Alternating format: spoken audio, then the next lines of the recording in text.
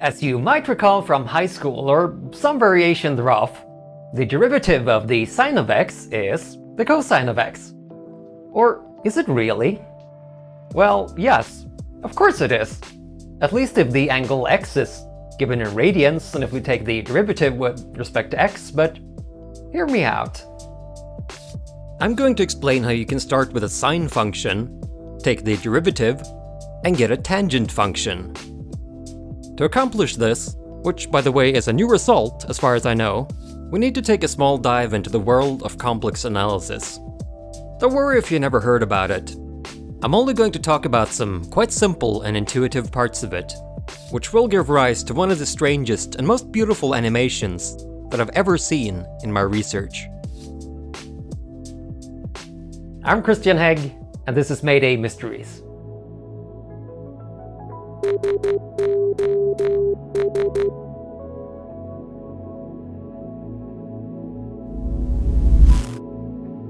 Okay, to be more specific, we're going to take the derivative of polynomials with complex coefficients and with zeros on the complex plane.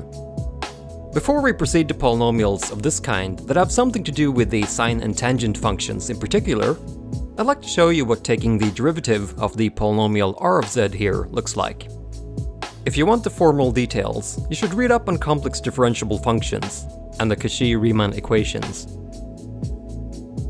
Anyway, let's go back to our third degree polynomial r of z with complex coefficients. First off, notice that we're using z instead of the more familiar x in our polynomial because, well, it's conventionally what complex analysts do to emphasize that the variable z is a complex number. Anyway, I chose this particular polynomial so that it can be factored nicely as z minus 1 times z minus 6 times z minus 3i. Of course, this means that r has the three zeros z equals 1, z equals 6, and z equals 3i. And we can plot these three zeros on the complex plane if we want to, like this. Great. Let's return to the expanded form of this polynomial r. Now if we take the derivative of r with respect to z, it turns out that we just have to multiply each term by its exponent of z, and then subtract 1 from each exponent. In other words, this is identical to how we take the derivative of more familiar polynomials with real valued coefficients. Now if we want to, we can set r prime of z equal to 0, and then use the quadratic formula, which lets us factor r prime of z like this. This looks a bit messy, but we can evaluate this expression numerically to this polynomial here. So the derivative of r, that is r prime, has two zeros that lie approximately at 4.04 plus 0.32i, and 0.63 plus 1.68i. If we go back to the complex plane, we can draw these two zeros in red, along with the three zeros of r from previously. It turns out that there's quite an unexpected geometric meaning behind these two zeros of r prime, which are, by the way, also called the critical points of r. To see this, let's begin by hiding the zeros of r prime and some of the text to reduce this clutter. Now let's draw the triangle that has the three zeros of r as its vertices. Next, let's mark the midpoints of each of this triangle's sides. Here, the midpoints are shown in white. Finally, let's draw an ellipse inside this triangle that's tangent to the triangle's sides at their midpoints. It turns out that this ellipse, which is called the Steiner inellipse, is unique. Surprisingly, it also turns out that the two zeros of r prime are the focal points of this ellipse. This is true for any polynomial r of degree 3, whose zeros don't all lie on the same line. This fact was discovered by Jörg Siebeck back in 1864, and is called Marden's theorem, named after, well, another mathematician who rediscovered this result 81 years later. This in turn is, of course, an example of Stigler's law of eponymy, which states that no scientific discovery is named after its original discoverer. Anyway, the point here is that you can take the derivative of any complex polynomial r and describe the zeros of r prime, if they exist, in terms of various elegant geometric constructions. I'd love to talk more about this, but we'll explore this theme more thoroughly in future videos. let's get back to how we can use the derivative to go from a sine function to a tangent function. So let's consider one period of some sine function, say y equals 6 times the sine of x, where x varies from negative pi to pi. Actually, let's say that the x-axis here is the real axis, and that the y-axis is the imaginary axis. Now we're looking at this period of our sine function's graph projected onto the complex plane. Specifically, this curve consists of the complex numbers z equals t plus i times 6 times the sine of t, where t is a real parameter that varies from negative pi to pi. Now, consider a polynomial p of z with, say, 5 zeros on this curve, such that its zeros are evenly spaced along the real axis. Furthermore, we want a zero at the starting point z equals negative pi, and another zero at the end point z equals pi. In this case, the polynomial is some non-zero constant c times z minus the first zero, which is negative pi, times z minus the second zero, which is negative pi over 2 minus 6i, and so on. Since we're only going to be interested in the zeros of these polynomials, and in the zeros of their derivatives, we can set the constant c to 1, since this won't affect the zeros. Of course, if we want to, we can get rid of some parentheses and simplify this to this expression here. Okay, if instead of 5 zeros, we want a polynomial with n zeros on the sine curve, the expression gets a little bit more complicated, but it's not too bad. Actually, before I show it to you, feel free to pause the video to try to work out the expression for such a polynomial with n zeros on your own. It doesn't take that much effort. Remember, the horizontal distance between any adjacent pair of zeros should be constant. Also, you're allowed to use the restriction that n is greater than or equal to 2. Are you done? Great! Here's one such polynomial. Don't worry if you think it looks a bit complicated.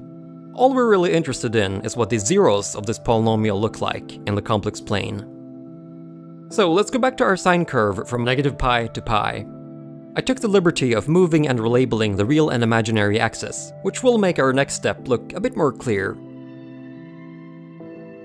Now let's set n to 60, so that our polynomial p from previously has these 60 zeros on our sine curve. Now we're going to take the derivative of this polynomial, just to see what happens.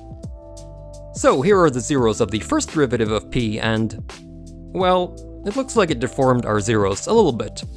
Let's differentiate p one more time. So here we have the zeros of the second derivative of p. Hmm.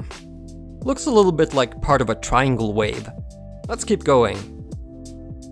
So as we can see, when we take higher and higher orders of the derivative of p, the initial shape deforms quite a lot in not entirely obvious ways.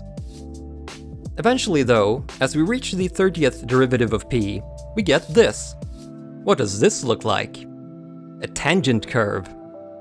Here we plotted the curve z equals t plus i times 2.27 times the tangent of 0.784t, with t going from about negative 1.6 to 1.6. The coefficients 2.27 and 0.784 in this particular case were found with the method of least squares. Note that the latter coefficient is quite close to pi over 4, that is, around 0.785. In addition, we get the best fit when the order of the derivative is 30, which is half the degree of the polynomial p. Isn't that really strange and fascinating? So let's summarize what we've done. We started with a real function y equals 6 times the sine of x. Then we projected the graph of this sine function onto the complex plane. Next, we repeatedly took the derivative of a polynomial with zeros on this projection. As a result, we came back from the world of complex numbers, with a real function y equals 2.27 times the tangent of 0.784x. That's weird, don't you think? getting a tangent function from a sine function by taking the derivative a number of times. So, why does this happen? Well, I'll give you a hint and leave the full explanation for another video. Okay, so remember we started with a function y equals c times the sine of x, where c was equal to 6 in our case.